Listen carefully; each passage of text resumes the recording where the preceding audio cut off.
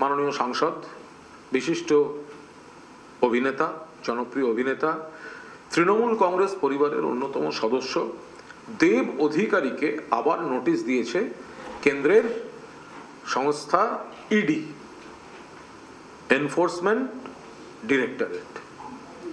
দেবকে নোটিশ দিয়েছে এবং বলা হয়েছে, একুশে ফেব্রুয়ারি দিল্লির অফিসে দেবকে হাজিরা দিতে হবে। প্রথম কথা, এটা প্রতিহিংসার রাজনীতি।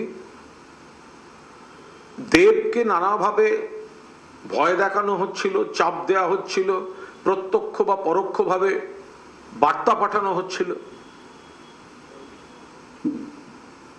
তাকে ইডির নোটিশ দিয়ে বিবৃতি, বিব্রত করা, হেনস্থা করা হচ্ছিল। দেব মাথা নিচু করেননি।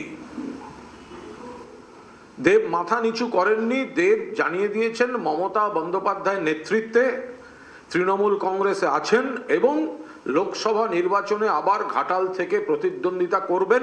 তারপরেই ইডির এই নোটিশ প্রমাণ করে দেয় যে এজেন্সিকে বিজেপি শাসানোর কাজে ব্যবহার করছে, প্রতিহিংসার কাজে ব্যবহার করছে।